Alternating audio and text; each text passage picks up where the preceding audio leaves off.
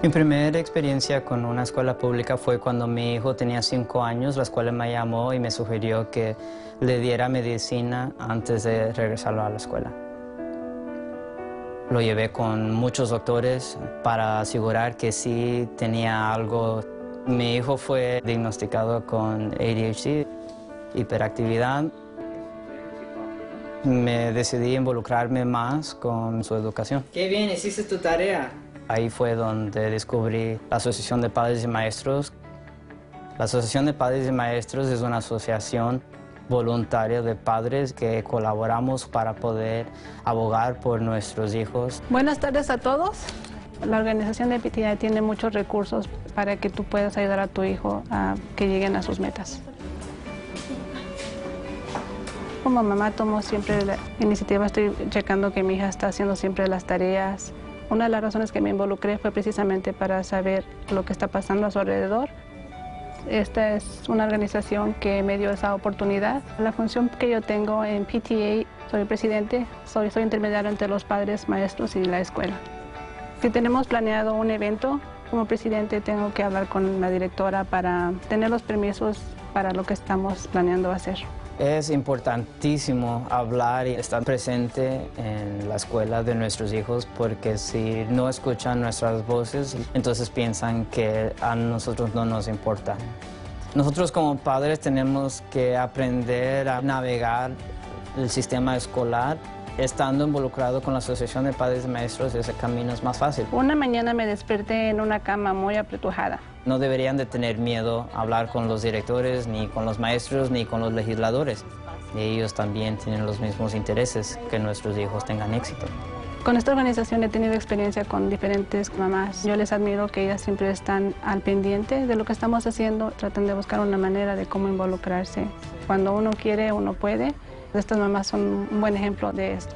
Estamos poniendo nuestro granito de arena en la escuela y la idea es continuar haciendo eso y hacerlos más grande y unir a nuestra comunidad más.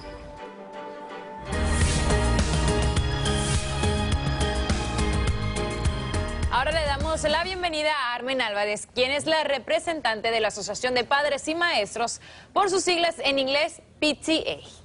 Armen, Buenos días. Buenos días. buenos días. ¿Qué nos ofrece la PTA a la escuela? La PTA, la PTA, ofrece para las escuelas una increíble variedad de recursos donde los padres pueden ser miembros y tener beneficios, pueden ser líderes, pueden ser también voluntarios, las escuelas pueden tener programas y también las escuelas pueden utilizar programas para recaudar fondos y cubrir aquellas áreas que las escuelas no tienen en cuanto a la economía se refiere. Ahora, ¿por qué la necesidad de involucrarse en las escuelas de, de sus hijos? O sea, los padres como tal. Los padres es el mejor activo, la mejor inversión que cada padre puede dar a su hijo es estar ligado firmemente y comprometido con cada uno de nuestros estudiantes y con nuestros hijos. El hablar periódicamente con nuestros maestros qué habilidades y qué destrezas tienen ellos y qué cosas necesitan apoyo. Eso es cierto, porque de- de- en realidad nosotros como padres no podemos pretender que la educación solamente recaiga en los maestros. Nosotros como padres tenemos que ser lo suficientemente responsables para entender que la educación empieza por la casa y ellos simplemente son como unos asistentes de nosotros para poder llevar todos este- estos mensajes, ¿cierto? Claro que sí, yo diría que esto es un trabajo de equipo entre la administración, entre los maestros, entre los estudiantes y principalmente los padres. Yo pienso que los padres son el motor Exacto. decisivo para que el éxito de nuestros estudiantes sea uno realmente muy fuerte y que las oportunidades del mundo se abran a través de la educación. Y lo podemos ver en los, en- en los estudiantes que sus padres están involucrados en la escuela. Los- las notas son excelentes, ¿cierto? Es como la diferencia del cielo a la tierra. cielo a la tierra. Simplemente cuando los padres tienen oportunidades, vamos a ver cosas Ahora, grandes. el idioma no debe ser una barrera cuando se trata de involucrarnos en la escuela de nuestros hijos. ¿Qué recursos ahora provee el PTA para padres latinos?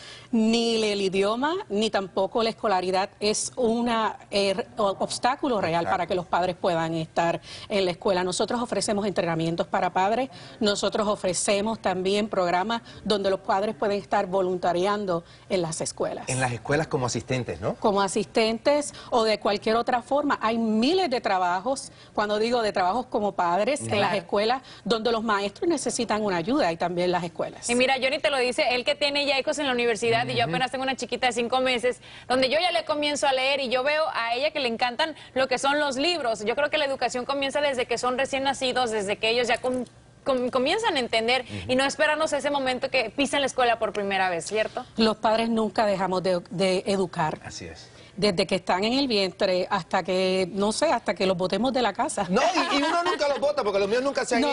los latinos nunca los votan. Tienes toda la razón. Gracias, Gracias un millón por todos estos consejos que nos han dado. Gracias a ustedes. Así es. Y